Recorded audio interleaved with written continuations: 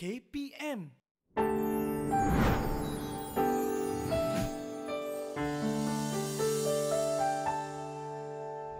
Hai, Assalamualaikum warahmatullahi wabarakatuh. Selamat pagi, salam sejahtera semua penonton rancangan kaunselor anda Didik TV KPM. Nama Cikgu Nur Hafizah binti Mahmud atau lebih selesa dipanggil Cikgu Hafizah. Uh, cikgu adalah kaunselor berdaftar dan cikgu bertugas sepenuh masa sebagai guru bimbingan dan kaunseling sepenuh masa di Sekolah Menengah Kebangsaan Tunku Sri Indra Putra di Air Hitam Kedah dalam daerah Kubang Pasu.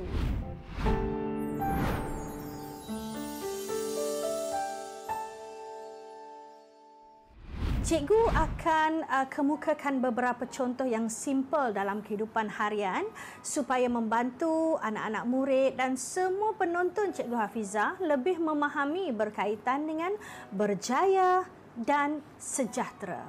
Okey, cikgu bawakan satu contoh ya. Uh, di tangan cikgu ada bola. Uh, bola. Bola kecil ya, bola warna biru dan warna oranye. Cikgu berikan contoh, katakanlah cikgu ada satu bakul di hadapan cikgu dan cikgu nak masukkan bola ini ke dalam bakul. Cikgu nak melontar. Ah, Okey, cikgu nak melontar bola ini masuk ke dalam bakul. Dan bila cikgu melontar, kali pertama tidak masuk. Kali kedua tidak masuk. Kali ketiga cikgu lontar, kedua-dua bola kecil ini masuk ke dalam bakul. Maka apa yang cikgu rasa adalah yes, berjaya. Apa yang cikgu berjaya? Berjaya memasukkan bola kecil ini ke dalam bakul. Kerana itu adalah target cikgu, sasaran cikgu, matlamat cikgu. Apa matlamat cikgu Hafizah? Matlamat cikgu Hafizah untuk memasukkan bola kecil ini ke dalam bakul dengan cara melontar dengan jarak mungkin 2 meter atau 3 meter. Jadi, apabila bola cikgu berjaya dimasukkan ke dalam bakul tadi, cikgu akan merasa seronok, bahagia dan gembira kerana matlamat cikgu tercapai. Baik, kalau tadi cikgu tunjukkan bola ini untuk dilontar masuk ke dalam uh, bakul tadi ya. Cikgu bagikan pula contoh anak-anak murid lelaki ya kalau dia main bola sepak bersama dengan kawan-kawan. Kadang-kadang eh bila dia nak main bola sepak, dia sudah ada target di dalam kepala hari ini nak menjaringkan tiga gol. Hari ini nak menjaringkan dua gol. Hari ini nak menjaringkan satu gol. Ataupun hari ini dia nak jaga tiang gol, dia nak pastikan tidak ada bola pun yang lolos masuk itu adalah satu bentuk target, satu bentuk matlamat, satu bentuk sasaran bagi anak murid itu tadi. Jadi, bila dia bermain bola dengan kawan-kawan, kalaulah awal tadi dia ada set di dalam minda dia, targetnya adalah untuk menjaringkan dua gol dan kemudian dia bermain dengan bersungguh-sungguh, berpakat dengan kawan-kawan, dia ada strategi bermain yang betul, yang berkesan, yang hebat, maka dia dapat jaringkan dua gol berakhir dengan yes, dia gembira. Kenapa? Kerana padanya dia berjaya. Berjaya menjaringkan gol kerana dia dapat mencapai apa yang dia target, apa yang dia sasarkan, apakah matlamat dia. Baik, cikgu berikan contoh lagi ya. Katakan ada anak-anak murid yang bersama dengan Cikgu Hafizah pada kali ini ya, memang suka memasak. Ada setengah orang dia suka memasak tahu sebab memasak tu adalah terapi untuk dia. Katakan anak murid cikgu ni, dia buka video YouTube, dia tengok satu rancangan memasak. Bagaimana untuk membuat kek contohnya. Baik, dia tengok bagaimana cara potong butter untuk memastikan kek itu tidak berminyak. Bagaimana cara untuk mengacau adunan supaya betul-betul kembang. Berapakah suhu yang betul. Bagaimana untuk melihat kek itu sudah benar-benar masak. Bukan terlebih masak atau belum masak telah dikeluarkan daripada oven ya. Baik, maka dia, dia ikut betul-betul langkah yang ditunjukkan di dalam YouTube, maka akhirnya dia dapatlah menghasilkan sebiji kek dapat makan bersama dengan seisi keluarga sedap cantik betul-betul menjadi. Dan dia akan rasa yes berjaya buat sebiji kek seperti mana yang dia nak yang dia lihat dalam rancangan YouTube itu tadi. Nampak? Berjaya hanya boleh diukur apabila kita ada target, ada matlamat, ada sasaran. Apa yang kita nak buat, apa yang kita nak capai, apa yang kita nak miliki. Baik, cikgu berikan contoh yang keempat ya, contoh yang simple. Katakan ya dalam keadaan PKP ini kita banyak kelas online, kita ada Google Meet dengan guru, kita ada Zoom. Katakanlah anak pelajar ingin uh, mempunyai satu matlamat ya untuk membeli headphone sebegini. Ah, handphone yang yang elok untuk tujuan digunakan dalam kelas online. Harga uh, headphone itu katakanlah RM80. RM80. Dan disebabkan mak dan ayah terjejas pendapatan disebabkan oleh PKP, maka mak dan ayah berikhtiar untuk berniaga nasi lemak dan diletak di kedai-kedai makan dan juga berniaga di tepi jalan. Kita sebagai anak yang bertanggungjawab, yang prihatin, nak tolong ibu dan ayah, maka kita pun membantu membungkus nasi lemak pagi-pagi bersama dengan mak kita kita. Dan mak pun berikan kita upah contohnya RM4 satu hari kerana membungkus nasi lemak. Setiap hari kita bungkus nasi lemak untuk mak kita selama 20 hari. Kemudian terkumpullah RM80. Kita pun orderlah online headphone yang kita nak tadi. Kemudian headphone, headphone pun sampai. Jadi apa perasaan kita? Yes, akhirnya akhirnya aku berjaya mendapatkan headphone yang aku nak, handphone headphone yang berkualiti untuk digunakan dalam kelas PDPR. Hasil titik peluh aku sendiri tolong bungkus nasi lemak untuk mak. Itu juga salah satu bentuk kejayaan yang boleh dicapai dalam kehidupan kita dengan aktiviti-aktiviti seharian simple. Sekarang cikgu harap anak-anak murid semua dah faham apa maksud cikgu Hafizah berkaitan dengan dengan berjaya dan sejahtera. Didik TV KPM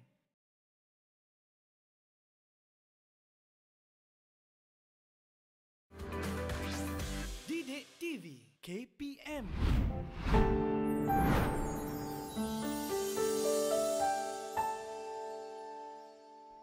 Berjaya maksudnya kita mendapat sesuatu yang kita sasarkan.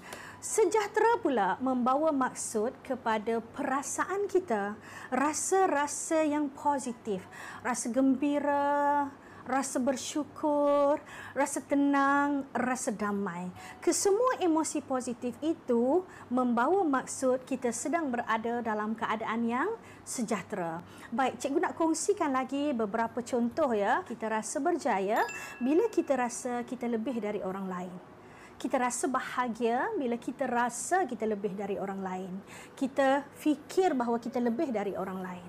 Contohnya di sini ya, kita berada dalam rumah, rumah kita selesa, ada bilik sendiri, ada ruang belajar sendiri. Kita ada ibu dan ayah yang tinggal bersama dengan kita kerana mereka pun perlu bekerja dari rumah. Jadi ada banyak masa bersama, makan bersama, solat bersama, berbual, berkomunikasi dan membuat luahan. Maka kita melihat ada kawan-kawan kita yang lain yang ibu dan ayahnya terpaksa keluar dari rumah bekerja mengikut shift dan jarang dapat berbual atau makan bersama. Ataupun kita dalam rumah ya, kita dapat makan satu hari lima kali. Ah, lima kali. Kita sarapan, kita minum pagi, kita uh, makan tengah hari, kita minum petang, kita makan malam. Tetapi kita dapat tahu ada kawan-kawan kita yang satu hari boleh makan tiga kali sahaja. Kenapa? Kerana kena kawal perbelanjaan kerana ibu dan ayah terjejas pendapatan disebabkan oleh PKP dan COVID-19. Maka pada masa ini apabila kita berfikir apa yang kita ada lebih dari orang lain, kita akan mengundang perasaan-perasaan yang positif. Rasa gembira, rasa lapang, rasa mensyukuri. Bila kita rasa apa yang kita ada, kelebihan kita, kemampuan kita dan pencapaian kita diiktiraf oleh orang lain. Ah, contohnya ya. Contohnya kita adalah seorang murid yang selalu join kelas PDPR paling awal. Ah, ini ciri yang bagus ya. Contohnya ah, cikgu buat kelas pukul 8 pagi. Kita selalu masuk ke dalam Google Meet atau Zoom tu sebelum pukul 8 pagi.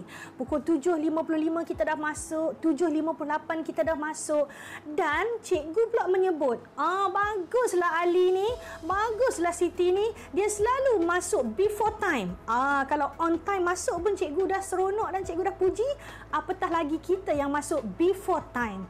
Okey, cikgu pun sebut tetapi ada pula keadaannya kita ada kelebihan, kita ada apa yang bagus tentang kita, kita ada pencapaian, kita masuk kuis online, kita menang dapat Johan, dapat tempat ketiga, peringkat negeri, peringkat kebangsaan dan sebagainya. Tetapi tiba-tiba kan kita rasa macam ah tak gembira lah sebab tidak ada siapa pun yang ucap tahniah. Tidak ada siapa pun yang iktiraf, wah awak bagus kerana menaikkan nama sekolah. Okey, pada keadaan begini cikgu nak pesan Jangan mengharap pada orang lain, kita harapkan pada diri kita sendiri kerana kita tidak boleh mengawal tingkah laku manusia di luar sana. Yang kita boleh kawal adalah diri kita dan pemikiran kita, tingkah laku kita, percakapan kita. Baik, cikgu nak bimbing anak-anak murid kita buat begini. Kita beri ganjaran pada diri kita. Kita puji diri kita kita iktiraf dan hargai dan syukuri kelebihan kita, pencapaian kita. Contoh, kita boleh ada buku log tulisan harian yang kita boleh mengucapkan tahniah kepada diri kita sendiri bagi menjemput aura positif dan emosi positif supaya kita berasa sejahtera. Okey, contoh kita tuliskan uh, tahniah Hafizah. Hari ini telah berjaya mencapai Johan peringkat negeri Kedah dalam deklamasi puisi kemerdekaan. Kita ucapkan sendiri. Kenapa? Kerana cikgu tidak mahu anak-anak murid sekalian mudah untuk mengundang emosi negatif apabila apa yang kita buat, apa yang kita berjaya, orang lain tidak memuji dan mengiktiraf, kita rasa kecewa, kita rasa terluka. Jadi caranya untuk terus mengekalkan rasa sejahtera, berjaya dalam sejahtera, kita tukar cara fikir kita dengan kita sendiri yang menghargai diri kita.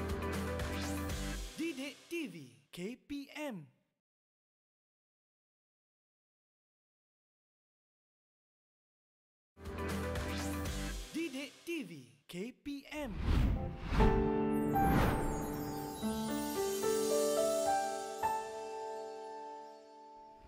Apa yang Cikgu Hafizah nak fokuskan di sini ya, kalau kita memilih ya untuk menjadi orang yang berjaya dalam sejahtera, kita kena halusi dan fokus kepada apa masalah yang kita hadapi.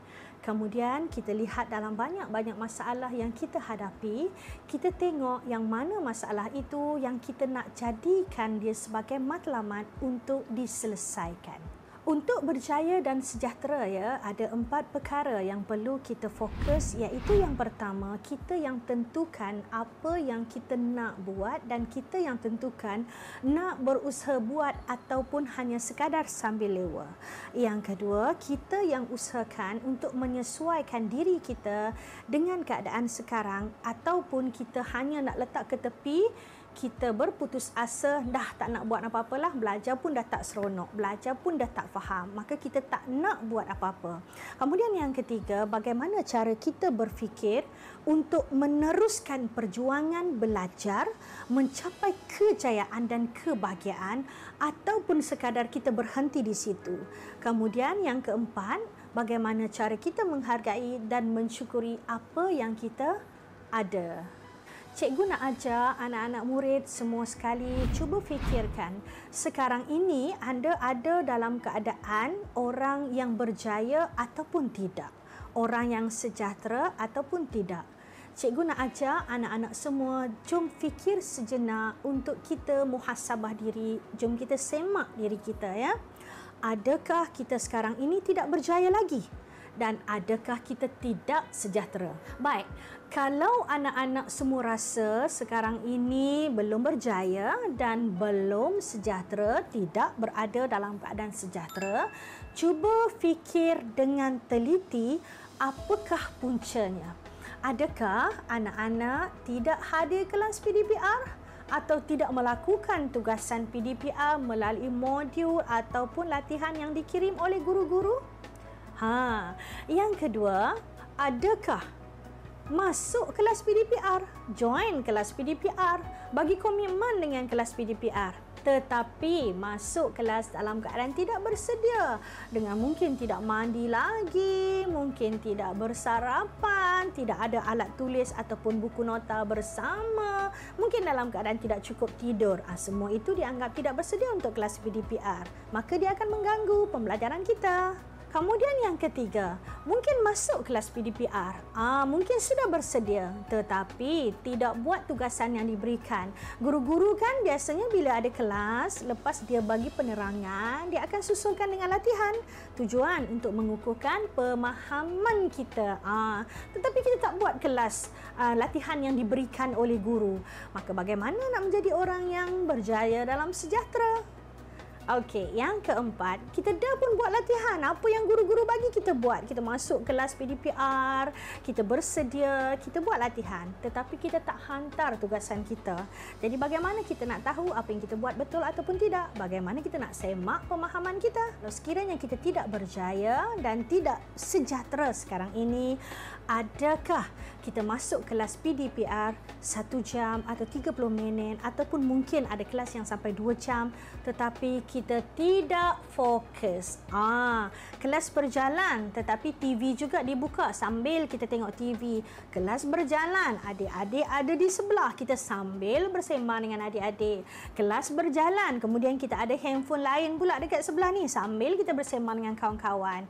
Maka bagaimana kita nak berjaya kerana kita tidak fokus. Seterusnya, adakah kita berdisiplin? Berdisiplin maksud cikgu kita join kelas PDPR adakah menepati masa? Ha, adakah kita berdisiplin dalam kehidupan harian kita? Pukul berapa kita tidur? Pukul berapa kita bangun pagi? Pukul berapa kita solat? Pukul berapa kita makan? Makan sarapan, makan tengah hari, makan malam dan sebagainya. Adakah kita orang yang berdisiplin? Dan seterusnya kita nak memastikan usaha kita dalam menuntut ilmu itu diberkati Allah supaya kita faham ilmu itu, supaya kita ingat ilmu itu, adakah kita menunaikan solat? Adakah kita cukup menunaikan solat? Adakah solat kita khusyuk? Adakah solat kita di awal waktu? Adakah kita mengaji Al-Quran? Adakah kita berzikir dan berselawat? Bagi membantu otak kita terang dalam menimba ilmu pengetahuan dan diberkati Allah dalam jihad kita menuntut ilmu cikgu rasa ya semua orang nak berjaya dan semua orang nak rasa sejahtera dan rasa bahagia. Jadi ingat ya empat perkara utama. Yang pertama kita mesti ada target, ada matlamat dan kemudian bertindak berusaha bersungguh-sungguh untuk mencapai matlamat itu tadi. Kemudian yang kedua, betulkan cara fikir kita supaya kita lebih banyak fokus kepada apa yang kita ada berbanding yang kita tidak ada. Kerana bila kita fokus kepada apa yang kita ada, kita akan belajar menghargai dan mensyukuri. Kemudian yang ketiga, belajar untuk menyesuaikan diri dalam norma baharu. Belajar dalam norma baharu. Belajar melalui kelas online dan PDPR yang tidak lagi ke sekolah seperti dulu. Kemudian yang keempat, ingatlah aspek keberkatan dalam hidup, keberkatan dalam menuntut ilmu. Buat apa yang disuruh oleh Allah dan tinggalkan apa yang dilarang oleh Allah. Baiklah, sesi perkongsian Cikgu Hafiza berada di hujung. Okey, Cikgu harap apa yang anda dengari pada hari ini apa yang anda tontoni pada hari ini, apa yang anda fahami pada hari ini. Cikgu harap tidak habis di sini sahaja ya. Mesti melakukan tindakan mulai daripada hari ini. Apa yang kena buat, lakukan. Jangan hanya sekadar tunggu dan biarkan masa berlalu begitu sahaja dan menjadilah kita orang-orang yang rugi. Sedangkan kita mahu berjaya dan sejahtera kan? Sekian dulu perkongsian Cikgu Hafizah untuk episod pada kali ini. InsyaAllah kita akan jumpa lagi pada episod yang akan datang. Jangan ketinggalan ya untuk terus menonton rancangan kaunselor anda Didik TV KPM kerana banyak ilmu yang bermanfaat yang boleh anak-anak dapat daripada rancangan ini. Baik dengan itu, salam perjuangan dari Cikgu Hafizah. Kita jumpa di puncak kemenangan. Assalamualaikum warahmatullahi wabarakatuh dan salam sejahtera. Bye.